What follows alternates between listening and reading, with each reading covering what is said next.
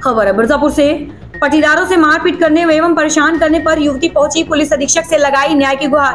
बता दें थाना जिगना क्षेत्र की पिंकी देवी नामक युवती पुलिस अधीक्षक को पत्र देते हुए बताया कि उससे पटीदार पप्पू दुबे द्वारा ज़मीन को लेकर आए दिन गाली गलौज व मारपीट करते हैं।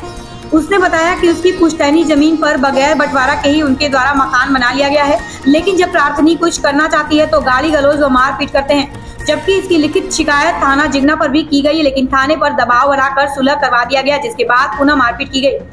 उनके उसने पुलिस अधीक्षक से इस मामले में न्याय की गुहार लगाई है। Bureau report Guddu Khan.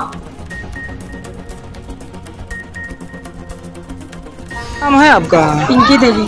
कहाँ से आई हैं? नसीपुर से।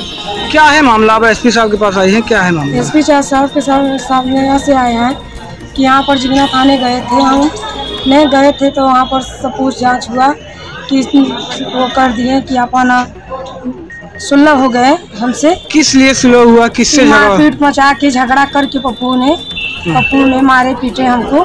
मारपीट के सुलह करवा के उनकी भाई ने वकील साहब ने उनकी भाई सुलह कराए।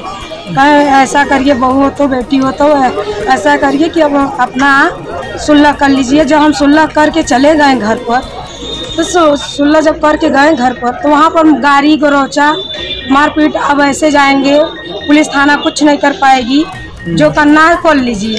किस लिए झगड़ा होने का क्या रीजन वो क्या किस वजह से हुआ झगड़ा? रीजन यही है ज़मीन के कारनामे में।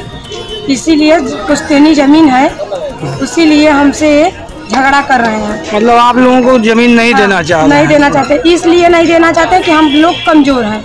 दो ठे बच्चे हैं छोटे छोटे हमारे सास ससुर हैं बूढ़े। और आदमी पागल डागल है जठौत भी पागल है। इसीलिए हमारे कोई सुनवाई नहीं हो रहा है।